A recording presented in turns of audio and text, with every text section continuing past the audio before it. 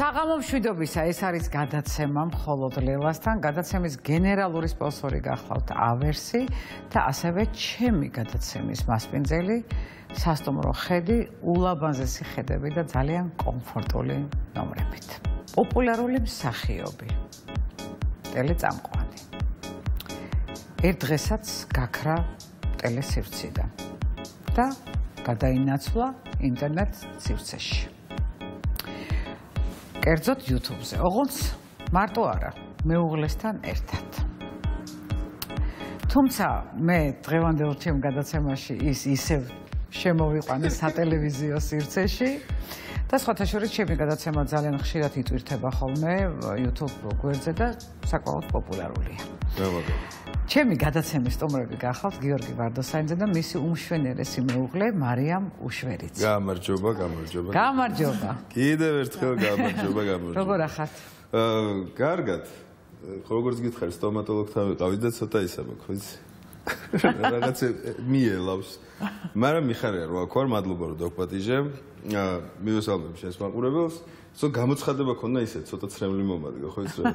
და ის გაქრა და იმის მერე არავის არ მოგედა ტელევიზია? ვაფშე არა.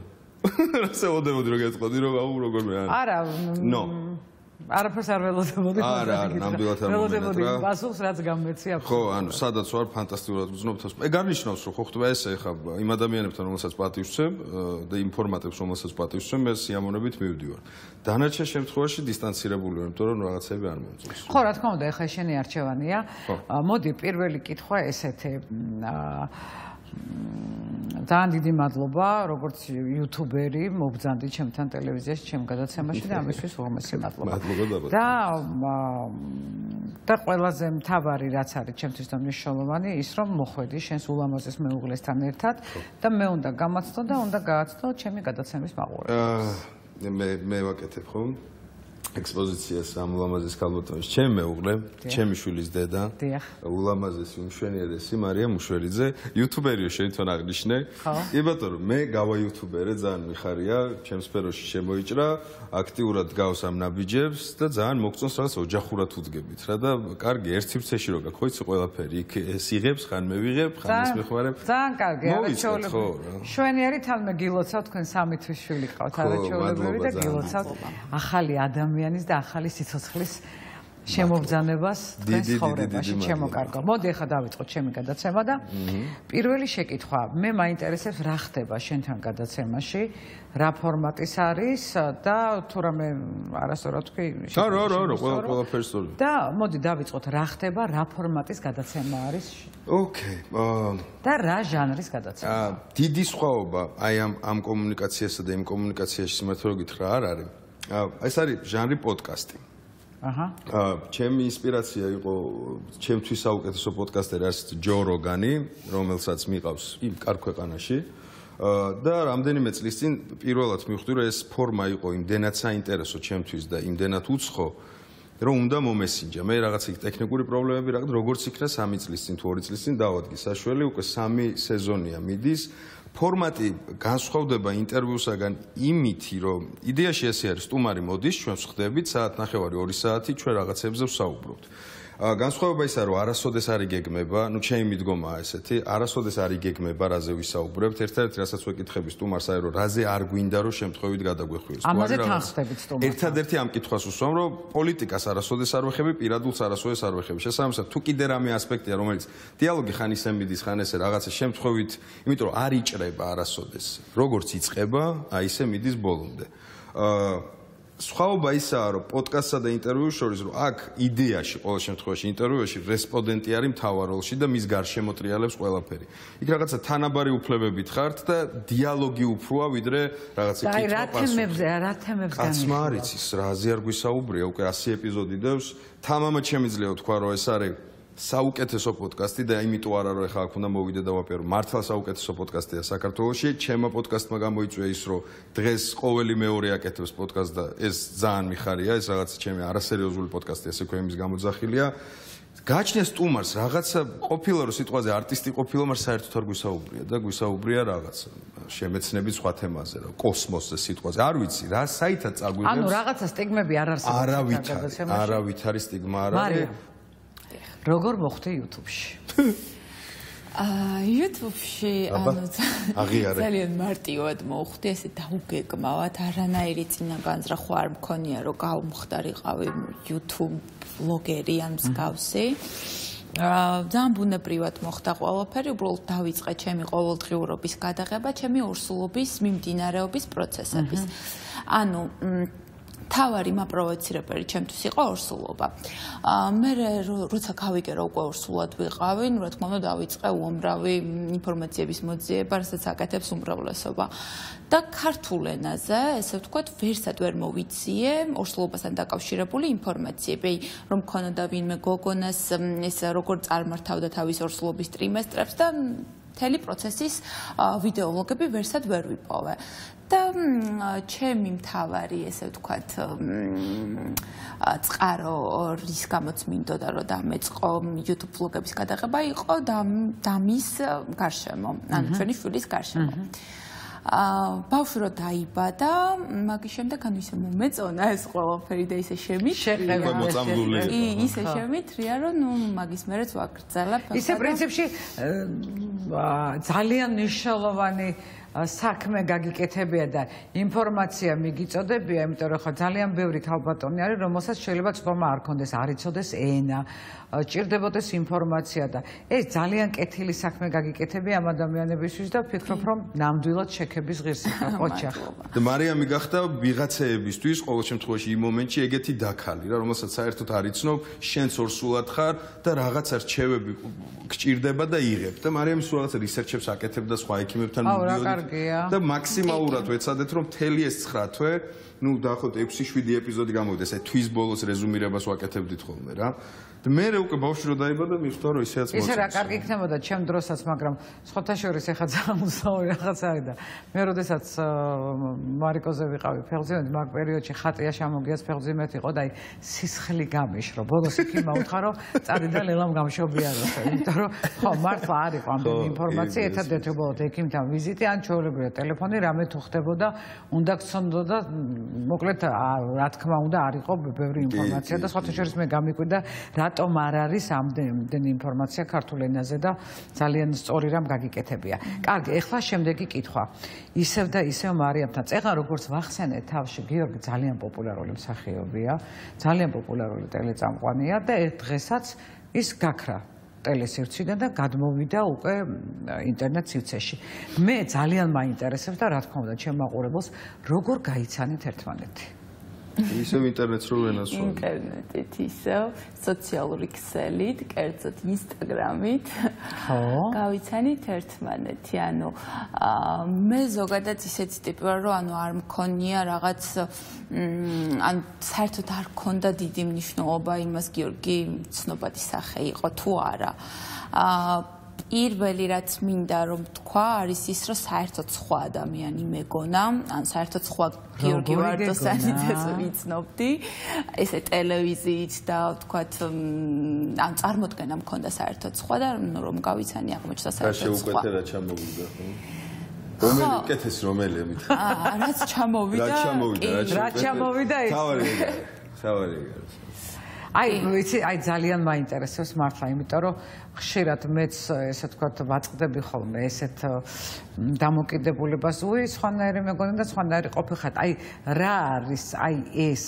აი თუნდაც აი თქვენგან მაინტერესებს აი ამ ინფორმაციის მოსმენა როგორი გეგონა?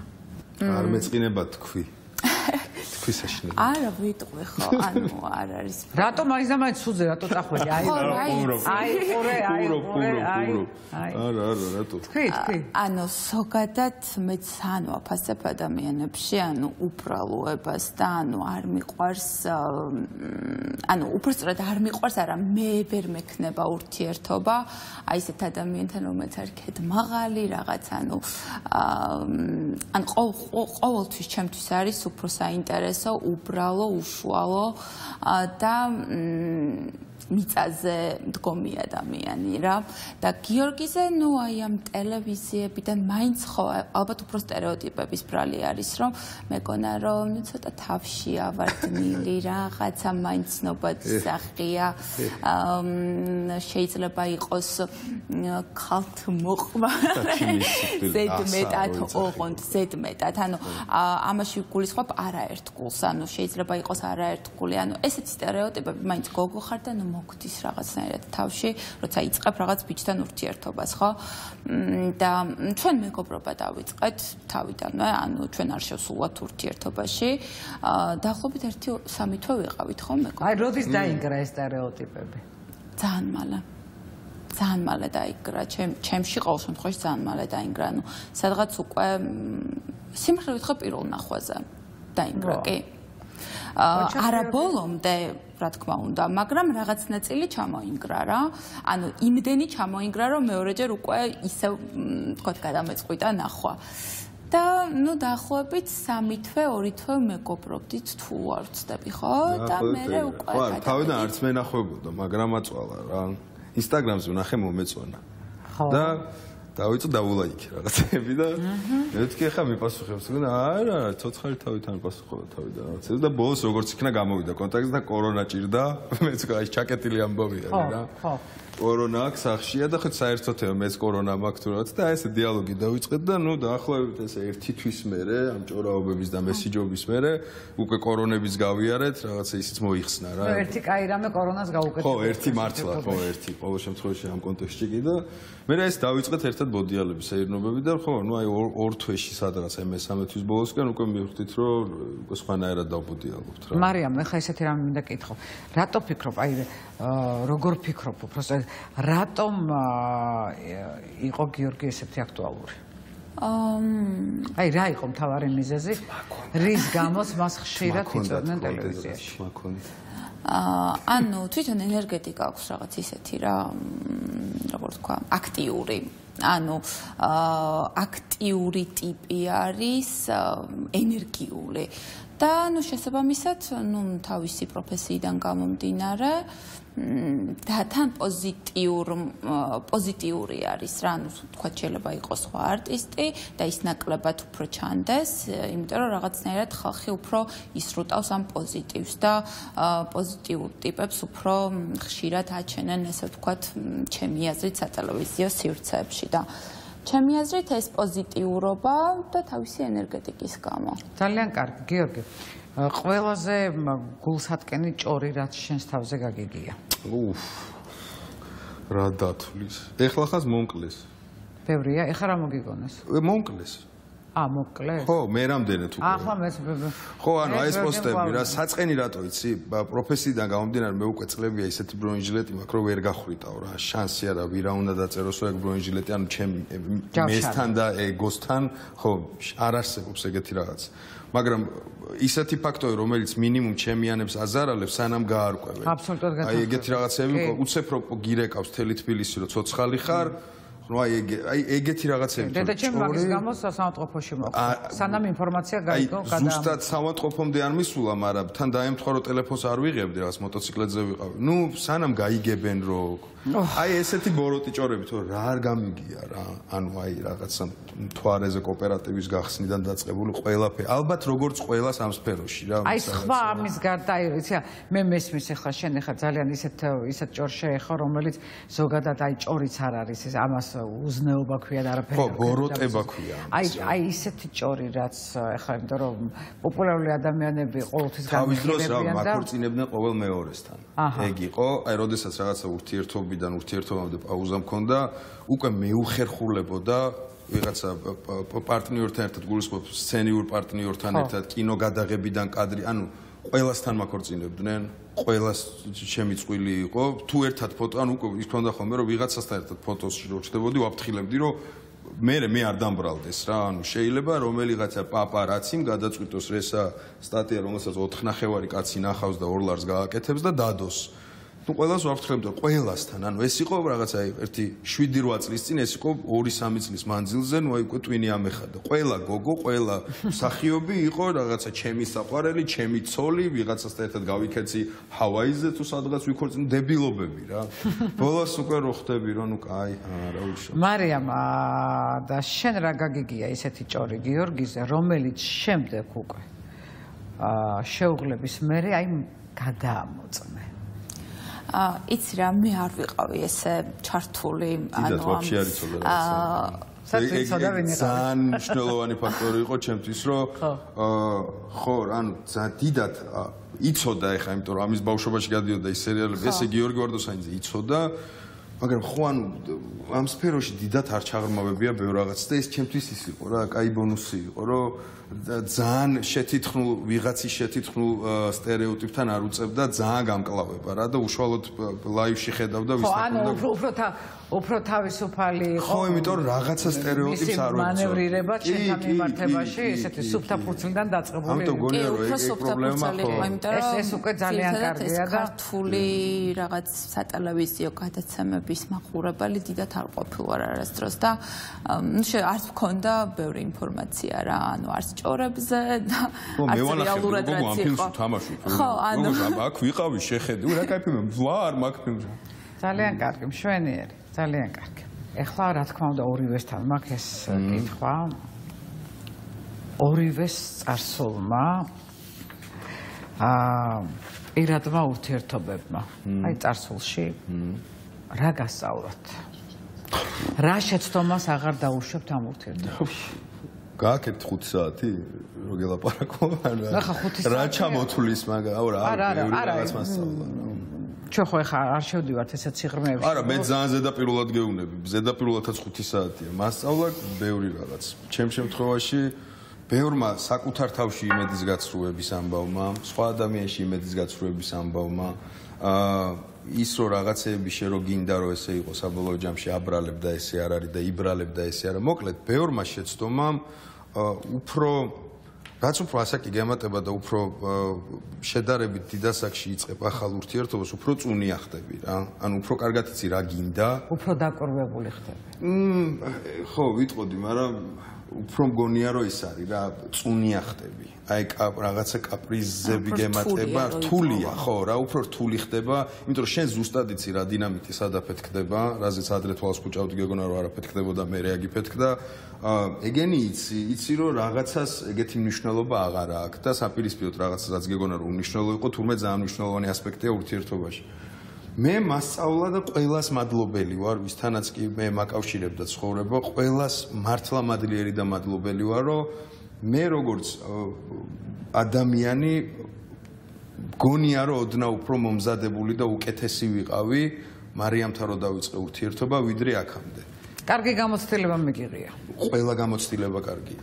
პოსტფაქტუმ შეხვდები რომ ყველა გამოცდილება კარგია აბსოლუტურად. აი მე ანალოგიურად ჩემთვისაც ანუ მიუხედავად იმისა რომ როგორ რთულადაც არ შეიძლება აღვიქვათ იმ მომენტში როცა ვთქვათ ეს ჩვენ ძველ ურთიერთობებს ვასრულებთ მაინც ანუ ყველა ჭრილში მაინც პოზიტიური დასასრული აქვს იმიტომ რომ აუცილებლად ძალიან ბევრ რაღაცას სწავლობ მე პირადად რა ვიცი მართლა ძალიან ბევრი რაღაც ვისწავლე ნუ პირველ რიგში ის რომ მოლოდინები ყველამ უნდა ჩავკლათ ყველაფრის. ანუ ეს არის ერთ-ერთი ძალიან მნიშვნელოვანი ანუ აი მოლოდინი არის ისეთი რაღაც რაც პირად ურთიერთობას კი არა ზოგადად ურთიერთობებს ანგრევს ჩემი აზრით. რომელიმე ურთიერთობას ნანობ კიდევ ერთხელ ვიძახი არც ერთ ურთიერთობას არ უნანობ იმიტომ რომ მაშინ დღეს არ ვიქნებოდი ესეთი როგორიც ვარ. ეს რო დავიწყოთ თუ თუ რო არ ყოფილიყო რო არ ყოფილიყო არ ვიცი მე ეხა ფაქტზე შემილია ვილაპარაკო რა რა გამოვიარე და ვინ ვარ ეხლა შინაგანად რას ვძნობ როგორ ვძნობ ჩემ მეს. აა რო არ ყოფილიყო რაღაცები უკეთესი იქნებოდა არ ვიცი. უარესი იქნებოდა არ ვიცი ეს ეხა შეთხზო არის და აზრი არ აქვს. ფაქტი ისაა რომ ყველა ამ გამოცდილებამ შექმნა ის ეგო, რომელიც მაინც ყოველ დღე ვეჭიდავები ვებძვირო, კიდე მოუღუნო, კიდე დავამტრიო, იმიტომ რომ იმიტომ რომ იმიტომ, მაგრამ აუცილებელი პროცესები იყო რა. ძალიან დიდი მადლობა ესეთი გულწრფელი პასუხისთვის და აბსოლუტურად მისაღებია შენი პასუხი. რამდენად ხშირად გაქვთ კონფლიქტი და აი რასთან დაკავშირებით, აი რა თემაზე შეგიძლიათ გქონდეთ კონფლიქტი? так, კონფლიქტს რას ვეძახით, მოდი დავკონკრეტდეთ. აი რა რა რა ფორმა აქცევს სიტყვა კონფლიქტს კონფლიქტად. რომ ვიცოდე რომ ზუსტად რამე ისეთი აქვს თქო რომ კონფლიქტი არ არის. აი აი თუნდაც დაძაბული საუბარი. დაცაბული საუბარი არ ვიცი. მოდი მე ვიტყვი. მოდი შენ. აბა ხო ხო შენ მეკას. იმიტომ რომ მე ეგრევე ამომინაცდა თავში პირველი რაზეც არის ეგ. და დაყარე. ანუ ბავშვის თემა, ა ეგეთ რაღაცებს გულისხმობთ კონფლიქტში, მაშინ ხო. ხო, ჩვენ ყველაფერს განვიხილავთ ამ შეიძლება. ნუ მოდი ესე, მარიამი არის ძალიან ემოციური. აი თუ ამას კონფლიქტს დავარქვევთ, ღმერთმა ამაზე დიდი კონფლიქტი ოჯახებში, რავი, არ გაგიჩნდოთ. ჩემთვის ეს კონფლიქტი არაა, ეს არის რაღაცა უბრალოდ მიდგომები სხვადასხვა. მარიამი არის ძალიან ემოციური.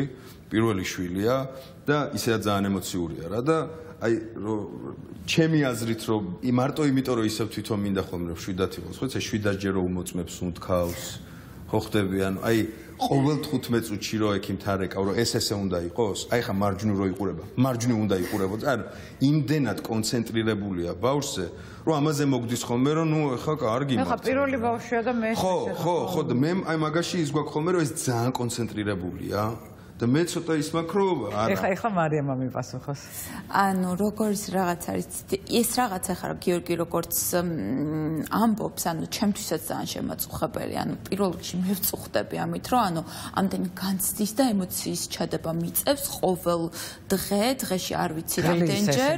კი ძალიან მხლის მაგრამ მეორეს მხრივ ანუ ჩვენ გავიარეთ ისეთი რაღაცები რაც მე რო არ მქონოდა რაღაც შესაბამისი რეაქცია ცუდი იქნებოდა, იმიტომ რომ ბავშვებმა რაღაც უფრო გართულებოდა. ანუ ჩემი აზრით ძალიან ადეკვატური არის ჩემი რეაქციები და ანუ სწორად ვიქცევი, არ შევცვლი ამას. ერთადერთი რასაც შევცვლი არის აი ეს ჩემი ემოციები ცოტა რომ ანუ ნაკლები ვინერვიულო რა, ანუ აი ამ პროცესში, თორე ჩემი აზრით დროთა განმავლობაში ეს ყველაფერი დაალაგდებოდა მიეჩვევი, იმიტომ რომ ხო ეს დედის ინსტინქტი არის და მე საკმაოდ ესე ვთქვათ ასახში შეიძლება ითქვას 33 წლის ასახში გავაჩინე შვილი და მაშინ პირველად ვიცით რომ 17-18 წლის გოგოები როგორ აჩენენ შვილს, როგორ იღებენ ამხელა პასუხისგებლობას თავის თავზე მეთქვა. თოთა გამალობაში ეს ყველაფერი ძალიან ბუნებრივი და ხო, რა თქმა უნდა, დაალაგდება კი. ხო, ყველაფერი გახდა. ეხლა მარიამთან მაქვს ესეთი შეკითხვა. პირველი სირთულე, რაც თანაცხოვრების დროს აღმოაჩინე. სირთულეს ესე ვერ დავარქ, მე უფრო ალბათ ჩემი მდგომარეობიდან გამომდინარე იყო ჩემი ჰორმონალური დისბალანსის ბრალი იყო. მაინც ვერ დავარქმევ სირთულეს მაგრამ მოდი სირთულეში გავატაროთ იმიტომ რომ მაინც არც ჩემთვის არ იყო სასიამოვნო და არც გიორგისთვის. ეს იყო პირველი ტრიმესტრის ჩემი ამოტრიალებული ჰორმონები და აი საერთოდ ფერნაცვალი თუ აი არ ვიცი რა სიტყვა ვიხმარო აი ხასიათი და საერთოდ აფეთქდი აა ძალიან ძალიან აფეთქდი აი პირველი ტრიმესტრი იყო არ ვიცი აი ყველა და ყველაფერი მეზიზღებოდა და ვერავის ვერ ვიტანდი და ნუ რა ვიცი. მათ შორის მეც რა თქმა უნდა. ხო, გიორგი. ყველას მეც მე ხვდებოდა 24 საათი ერთად ვიყავით რა თქმა უნდა. პირველი ტრიმესტრი ძალიან რთული ქონდა. აი, იცი, აი როგორ ხდებოდა, აი რაში გამოიხატებოდა, აი ეს მის. ეხლა ძალიან მეცინებრივი ვიდეოები გვაქვს და იმ ვიდეოებში ვტოვებ მესიჯ, ჩემ თავს ვტოვებ მომავალში გვაქვს ეგეთ ვიდეოები, რომ აი ეს რო რაღაცას გამიჭედავდო ხოლმე, ჩემ თავს ვაწყნარებ, რომ ეხლა ალბათ ბავშვი გაჩნდა, ეხლა ორივე ადეკვატურები ხარ. როგორც ამისთვის იყო ეს რაღაცთან პირველი ტრიმესტრი მართლა ძალიან განსხვავდებოდა რა ჰორმონების და ჩემთვისაც ახალი იყო ანუ პირველად ხო და მაგრამ მაგრამ კითხვა მე ხო არ შეგეშინდა მაგრამ რა შემეშინდა იცი სწორი პასუხი არ არსებობდა არ არსებობდა. ვერაფერს ვერ ვეტყოდი, ისეც რაზეც შეიძლება და რომ სიმარტ, ანუ სიმარტი რა მისი ლოგიკით ყოფილიყო სწორი. ამიტომ ყველაფერში დამნაშავე ვიყავი. სულ სულ გაშარული იყავი. ხო, მაგარშაში ვიყავი და ანუ აი მაქსიმალურად ვცდილობდი რომ ყველაფერი გამეკეთებინა თან მეც ავიჭერი არაფერი მეგობრებში რეკავდი რომ მიშველეთ ხალხო ცოლიაც ბაკაცებში. ესე უნდა იყოს, კი დაწყრადი ყველაფერი უნდა და ეგ რა არის მე საერთოდ გამაგდო სახლი და ვიღაც მეუბნებოდა მე გვერდზე ოთახში მძინავს რაღაცებს და აი მანდ მივხვდი და გეფიცე პირველი ტრიმესტრი მესამე ბოლო დღე რომ მორჩა აი ესე შეიცვალა ანუ მეორე დღეს დაბრუნდა ეს მარია და ისამითო იყო რაღაცა იმე სახეს მაძლობდა ხო, კი, ეგრე იყო. არა, მაგას მე საინტერესო თვითი ჩვენი ინტერვიუ. რაც იყო, ეხლა ვერ გავიქცევით. მოდი ახლა ცოტა გადაუხვიოთ თემიდან და გეორგი შენ მინდა დაგისვა ეს შეკითხვა. აი როგორია ახალგაზრდა მსახიობის ყოფა საქართველოში? მმ რთული ალბათ ძალიან რა. სამწუხაროდ იმდენი ამთავრებს, რომ მაგდენი მოთხოვნა არ არის. მაგდენი ვაკანსია არ არის, მაგდენი ფილმი არ არის, მაგდენი ნუ სერიალები კიდე რაღაცა შველის რო ვიღაცამ თავის ჭია მაინც გაახაროს და 1-2 უკმა სახში მიიტანოს. სამწუხაროდ, როგორც ბევრ სხვა სფეროში, აქაც ეგ არის, რომ ბევრი ნიჭიერი ადამიანი მოდის და მოდის და მოდის და უნდა მოდიოდეს კიდევაც ახალი თაობა, მაგრამ არ აქვს რეალიზაციის საშუალება რა. მე მესმის, რომ შენ უფრო წახვედი დამწყებ სახეობებზე, მაგრამ მე არ მიგულისხმია. ჩემი ჩემი ისა ხო? უყურე როგორ რაღაც არის, ზოგადად ვიკითხე მე, აი ზოგადად არტისტი ადამიანის ყოფა როგორია და რატომ გეკითხები უყურე? აი შენ ხო გადაინაცვლე YouTube არხზე. ანუ შენი შემოსავალი აკმაყოფილებს აი იმ შენს ყოველდღიურ მოთხოვნილებს. მე არ ვაპარაკობ რაღაცა ფუფუნების საქმეებზე და ასე. ფაქტი ერთია რომ თუ არტისტობას ვარქმევთ პროფესიას, მე თავს ძალიან რეალიზებულად ვგრძნობ, ფანტასტიკურად ვგრძნობ. თუ არტისტობას ვამატებთ იმას, რომ ოჯახი უნდა შევინახო და პასუხისგებლობები მაქვს, მაშინ მე უნდა გავინძრე. მე არ მაქვს უფლება არც ერთი დღე ვინმეს ველოდებოდე ვინმე ზარს ველოდებოდე აი ზუსტად ეგ მაინტერესებს. მაგაზე მე არ ვერ მივცემ თავს არ მაქვს ეგ ფუფუნება. განსაკუთრებით ეხლა როცა დამი დაიბადა და მარიამი ყავს. მე არ მაქვს უფლება ერთი წუთი მაინც გავჩერ. კი ბატონო. შესაბამისად. გასაგებია გასაგებია. დიდი მადლობა პასუხისთვის და მარიამ ესეთი კითხვა მინდა დაგისვა აა რომელი უფრო მხარჯველი ხართ? რატო ჩაგეცინე? ფინანსური ხარჯი დიახ დიახ დიახ. ფინანსურად რავი, ალბათ ერთნაირად ვარ. ხო, სიმართლე რო გითხრა. აი ესე გამოკვეთილად რომელიმე, ანუ ორივე მხარჯვალები ვართ რა. ხო, მაგრამ რაში გოჩი? ანუ საჭირო რაღაცებში რა. სვეჩი, ანუ მართლა საჭირო რაღაცებში. გემთით ზუსტად რაღაც სახლისთვის ყიდულობთ ხოლმე. ხო, ეხა ბუდე მოვაწყეთ რა, სახლი ვიყიდე ბუდე, ამბავი მე და მარიამა მოვაწყეთ, ჩვენ გემოზე, იმიტომ რომ ჩვენი სახლი არის. აი მაგაში ეგ ფინანსები წავიდა სიტუაცია. ანუ ძალიან კარგია. ძირითადად ვათანხმებთ რა. ხო, კი. იმიტომ რომ ბიუჯეტი რომელიც რაღაცა ორივესგან შემოდის, უნდა გადაწყდეს იმ პრიორიტეტებით, როგორც ოჯახ ჭირდება. პირველი არის ბავშვი, არა ვერავინ ედრება ამ პრიორიტეტს, მერე არის ჩვენი ბინა, სახლი, ასე შემდეგ, ბოლოს გართობა რაღაცები. ჯიჯურობით ა კოსმო ხო ზარი მოდიში ხო კოსმოს გამოგჩა ხარჯელები თუ არის იმ ზარი როგორ გამოგჩა მე მაპატია კოსმო ვიზვინი.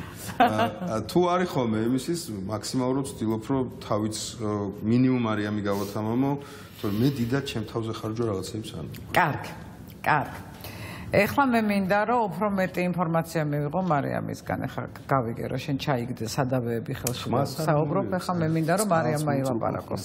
და ესეთი შეკითხვა მაქვს მარიამთან. და კარგად კარგად დაფიქრდი. ყველაზე სიმპათიური ქართველი მამაკაცი. მე რო გამაჩვენე. მაიო გაიხსენე თმები მქონდა ოდესღაც. ის ვერსია გაიხსენე, გაიგე? ნუ აი უნდა ვთქვა ხა რომ გიორგი, იმიტომ რომ ჩემი ანუ ესა გიორგი არის ჩემთვის ყველაზე სიმპათიური მამაკაცი საქართველოში. რა თქმა უნდა. თმებიან თუ თმების გარეშე. ორივე. ორივე შეიძლება.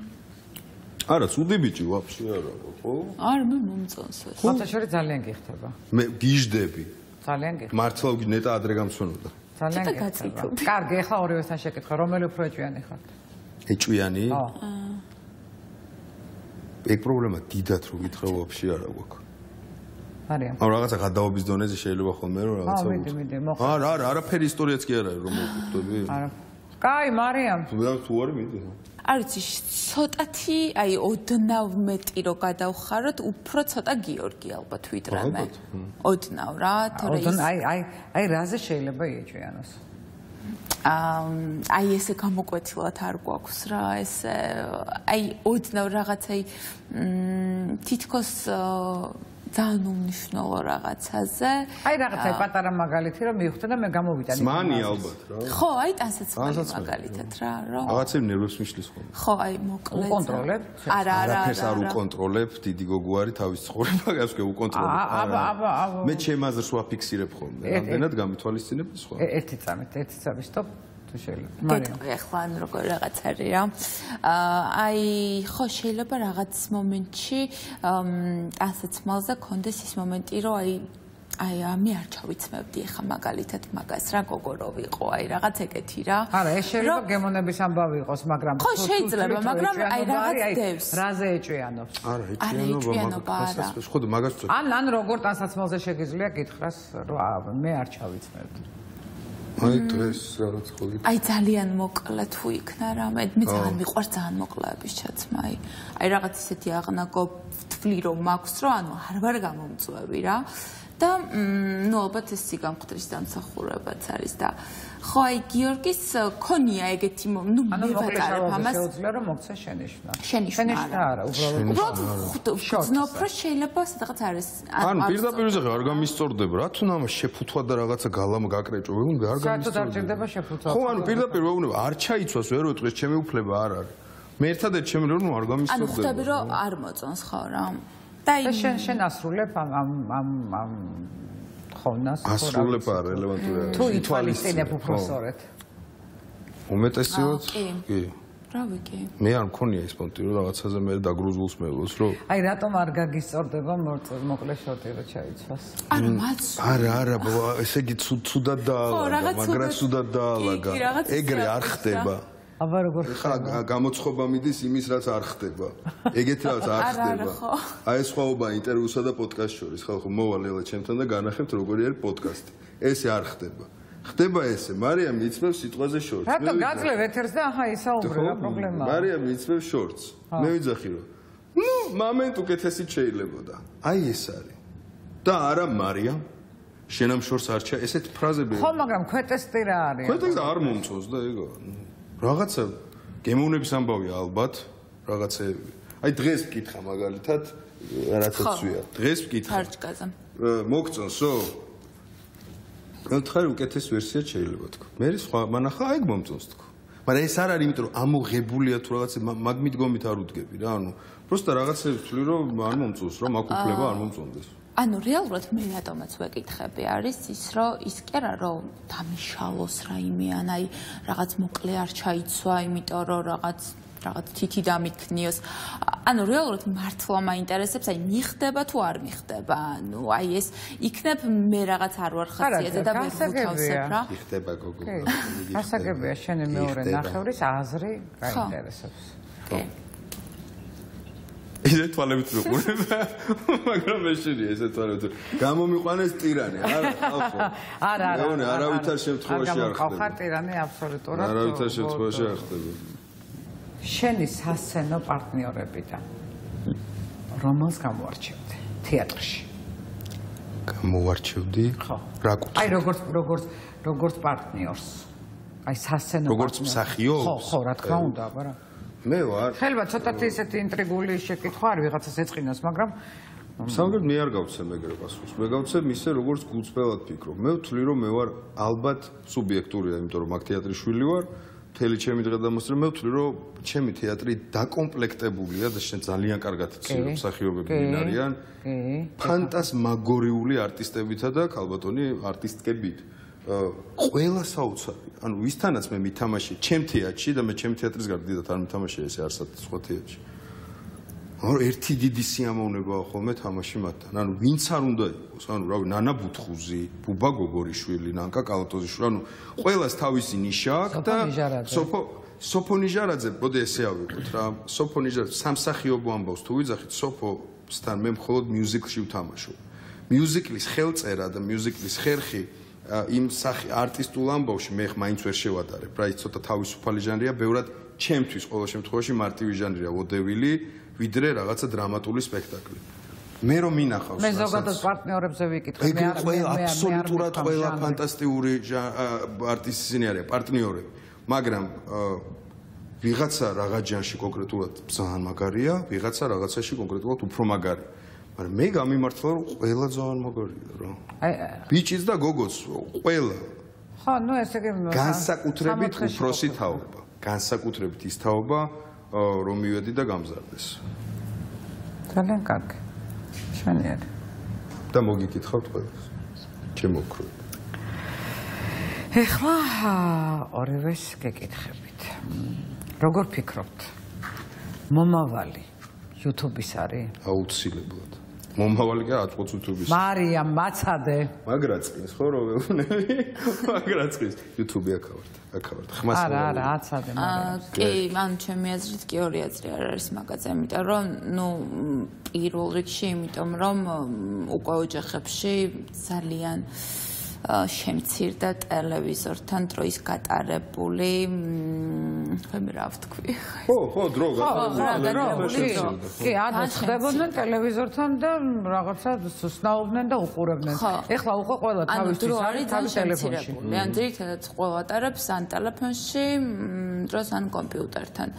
და შესაბამისად YouTube-იც ისეთი არის, რომ ანუ მე მერჩევნია მაგალითად ახლა რაიმე თუ მაინტერესებს YouTube-ზე ნახო და მოვიძიო ინფორმაცია, ვიდრე ტელევიზიაში თქვათ არხებს დავუყვა. ხო, იმიტომ რომ დროის ფაქტორიც არის, ძალიან სწრაფად პოულობ ამ ინფორმაციას. ხო, კი, კომფორტული არის უფრო YouTube-ი, დროს გაზრთან დრო უკვე დამნიშნულოვანი ხდება ნენა ჩვენთვის. ფაქტობრივად ყველაფერთან. კი, კი, ანუ უფრო მრავალ მასშტაბიანი არის.